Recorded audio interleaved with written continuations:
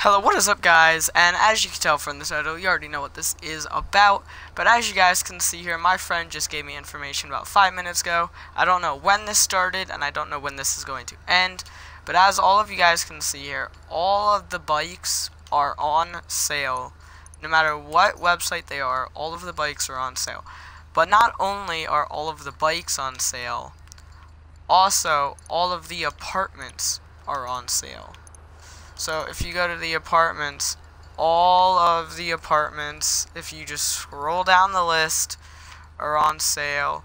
I'm not really going to sit here and go through all of them, but as you can see, all of them, except for a, a select few, are on sale. So as you guys can see, the 1.1 luxury house is $825,000.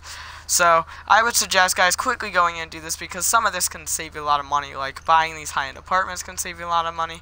And not only that, if you go ahead to the luxury motor uh, sports website and you get the Principe Lectro,